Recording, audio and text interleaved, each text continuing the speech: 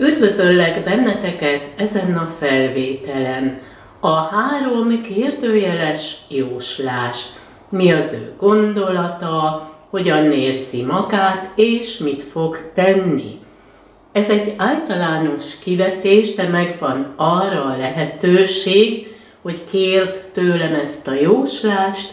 A díjam, mint minden jóslásnál, 4000 forint.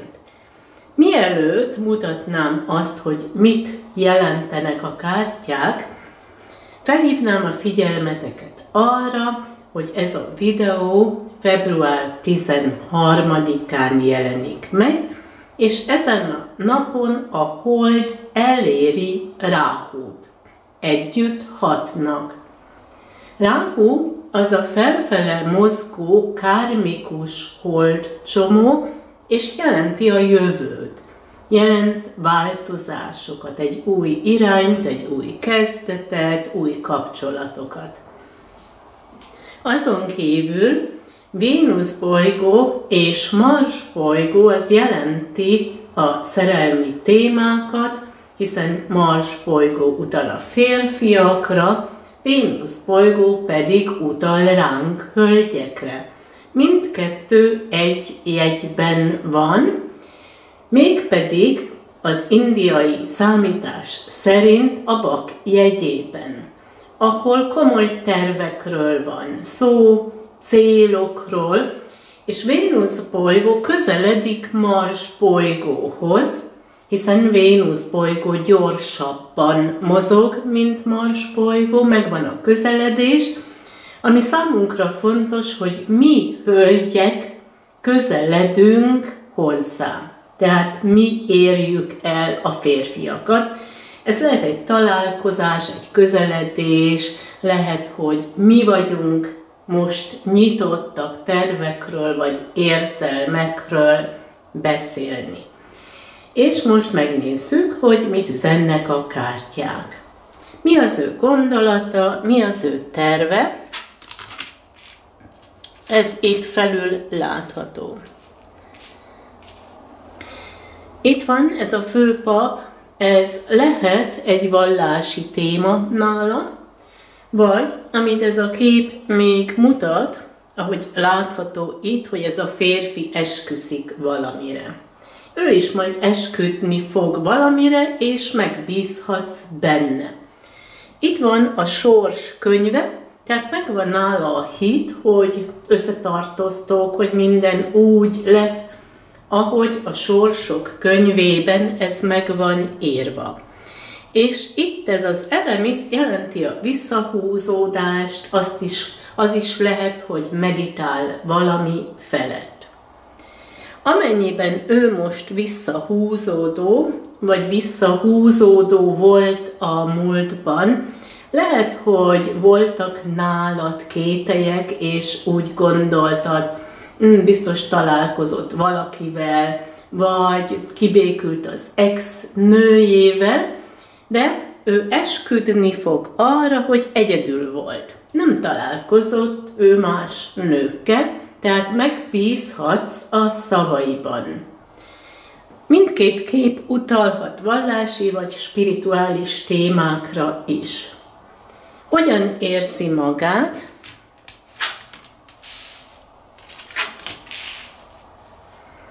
Itt a kejhek utalnak az érzelmekre. A négyes szám jelenti a biztonság érzetét. Megvan nála ez a kívánság.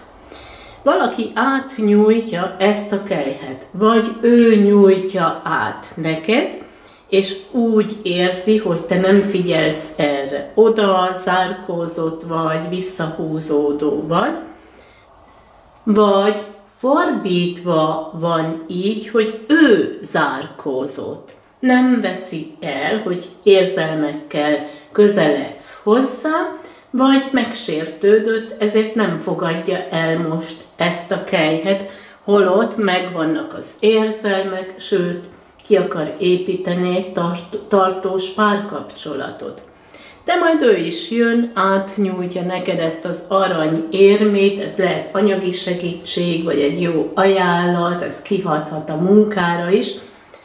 Ami a párkapcsolatot illeti, ez az arany érem jelenti az értékeket, hogy te értékes vagy számára. Sőt, itt van a kapu, ezek lesznek majd a lehetőségek. De jelenleg még visszahúzódó, inkább arra vár, hogy te jelentkezz nála. És mit fog tenni?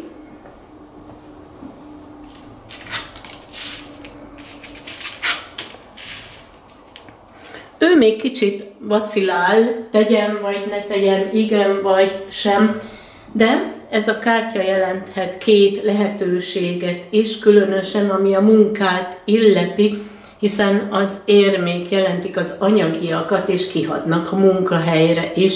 Ez lehet egy munkahelyi változás.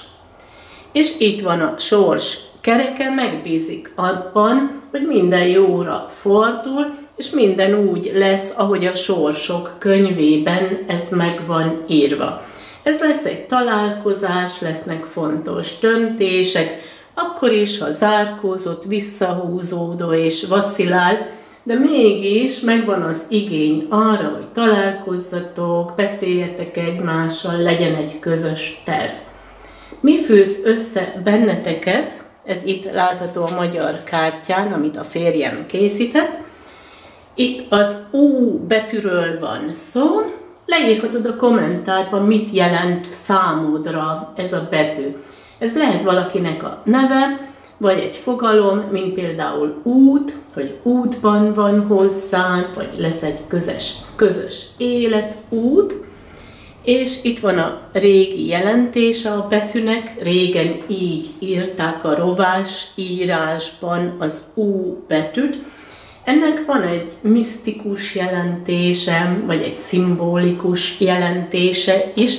Én úgy értelmezném ezt a betűt, ezt a régi betűt, hogy itt van egy szűkös helyzet, vagy középen találkoztok, hogy ő közeledik hozzá, te elvárja azt, hogy te is tégy lépéseket irányába, az egyik oldalról te hadsz, a másik oldalról ő, és itt középen találkoztok.